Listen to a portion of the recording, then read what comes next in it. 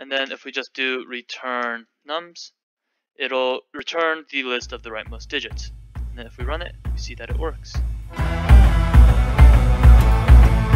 int i equals 0, i is less than.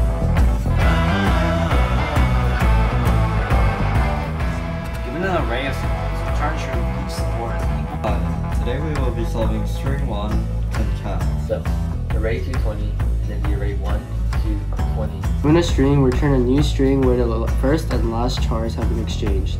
create a string variable called string s. do is create an integer variable and we'll call it answer. uh, string2 on codingbat.com.